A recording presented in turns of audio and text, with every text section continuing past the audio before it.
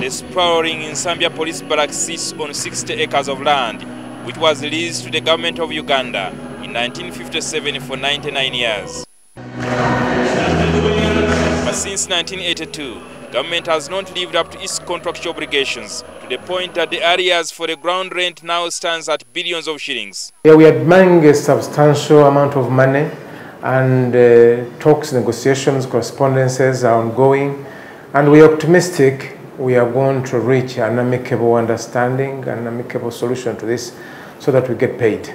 NTV has seen letters written by the church leaders to the president, but there has been no response yet. The letters were copied also to the Attorney General of Uganda, the Minister of Lands and the Uganda Land Commission. The church says it has run out of patience. As we've made contacts uh, to the relevant organs of government, Police spokesperson Fred Enanga admits that police owes the church money. We want to assure the public and, uh, and uh, the Catholic Church that uh, we are not going to go against any of those terms.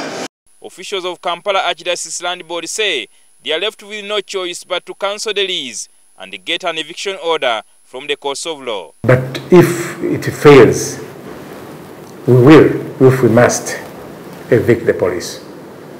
Uh, the, the, the, there has been that uh, uh, slight co conflict in the calculation actually of the ground rent, uh, but uh, this has called for the technical guidance from the chief government valuer. For 32 years, police and the government of Uganda have failed to meet their obligation of paying ground rent for police barracks at Nsambya, land belonging to the Catholic Church. 8,000 police officers and their families face eviction. The challenge here, who will enforce this eviction?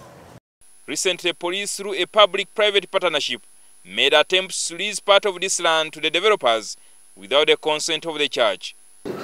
Yes, we can still allow police to use that land uh, on the condition that we negotiate uh, lease terms. The question here is that does government wish to be at loggerheads with the Catholic Church over property towards 2016 generations? Jingo Francis, NTV.